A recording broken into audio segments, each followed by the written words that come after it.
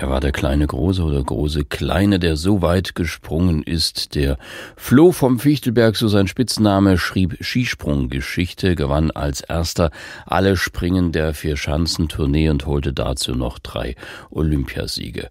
Heute, vor 60 Jahren, wurde Jens Weißflog geboren. Steffen Hudemann berichtet. Er ist die vielen Stufen hinaufgestiegen. Jetzt sitzt er da auf der Paul-Außerleitner Schanze in Bischofshofen. Der junge, schmächtige Mann mit der Startnummer 91, dunkelblauer Anzug, Hammer und Zirkel auf dem Arm. Rund 100 Meter unter ihm jubeln die Zuschauer. Ciao, nun Jens Weißflug mit seinen 55 Kilogramm, die er auf die Skier bringt. Der kleine und doch so große Springer, die Entdeckung auf der Tournee. Doch der erst 18-Jährige aus Oberwiesenthal im Erzgebirge lässt sich davon nicht beeindrucken. Jens Weißflug gewinnt in Bischofshofen mit 257,2 Punkten. Ein Riesenabstand. Mit diesem Sieg beim Dreikönigsspringen der Vierschanzentournee 1983 springt der kleine Sachse oder der Floh vom Fichtelberg, wie er auch genannt wird, auf die ganz große internationale Bühne quasi aus dem Nichts. Es gibt im Skispringen immer so Beispiele, die von heute auf morgen vorn sind, sich dann dort etablieren. Das ist, glaube ich, auch so ein Phänomen dieser Sportart. Und er etabliert sich schnell. Schon ein Jahr später wird er erstmals Gesamtsieger der Vierschanzentournee. Überhaupt ist 1984 ein perfektes Jahr für ihn. Er holt den Gesamtweltcup und triumphiert bei den Olympischen Winterspielen in Sarajevo. Jens, Jens, je aufs Janze, möchte ich berlinerisch sagen, zu dir als Erzgebirgler. Und flieg und flieg und treibe den Sprung und lande sicher. Weißflog hat gewonnen! 1985 wiederholt er seinen Sieg bei der Vier-Schanzentournee. Jens Weißflog ist in der DDR jetzt ein Volksheld und Vorzeigeathlet.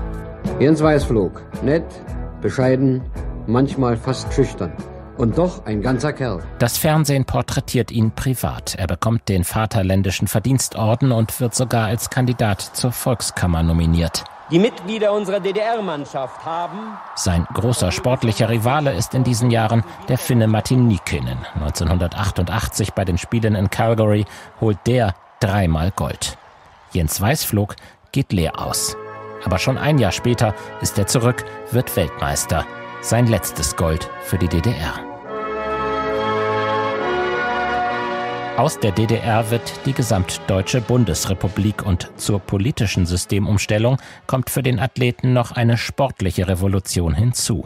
Denn seit den frühen 90er Jahren führen die Springer die Skier nicht mehr parallel zueinander, sondern auseinandergespreizt in V-Form.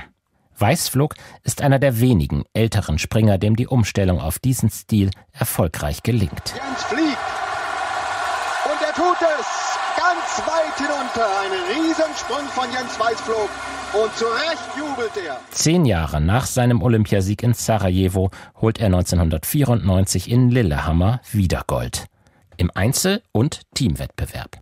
1996 beendet er seine Karriere, nicht ohne sie vorher dort zu krönen, wo sie begonnen hat, in Bischofshofen. Er war sicherlich schon der Größte, der Erfolgreichste.